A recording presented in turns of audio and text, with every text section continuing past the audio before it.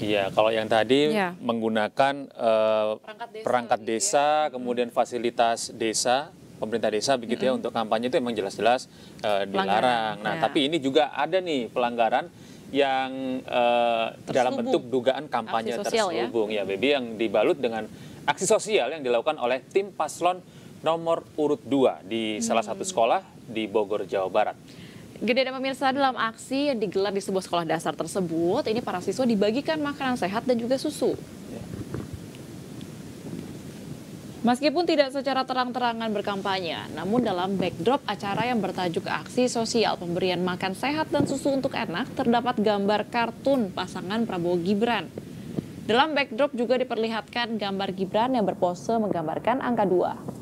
Aksi sosial ini dilakukan oleh Kesira, Kesehatan Indonesia Raya, yang merupakan sebuah badan khusus yang menjalankan program-program DPP Partai Gerindra dalam bidang kesehatan, bekerja sama dengan RAPI, relawan pemimpin Indonesia di salah satu sekolah swasta di Bogor, Jawa Barat.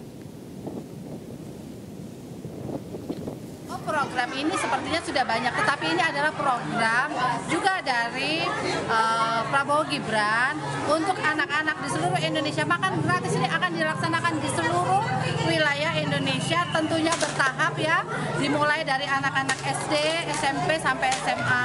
Mereka akan diberikan makan makanan gratis seperti ini. Relawan pemimpin Indonesia sangat seiring dengan program daripada Pak Prabowo Gibran ya untuk memberikan makan siang gratis dan susu. Karena ini sangat penting. Orang tidak bisa belajar kalau kesehatannya terganggu. Bahkan selagi ibu-ibu mengandung maka itu kami begitu gembira melihat program yang dilontarkan oleh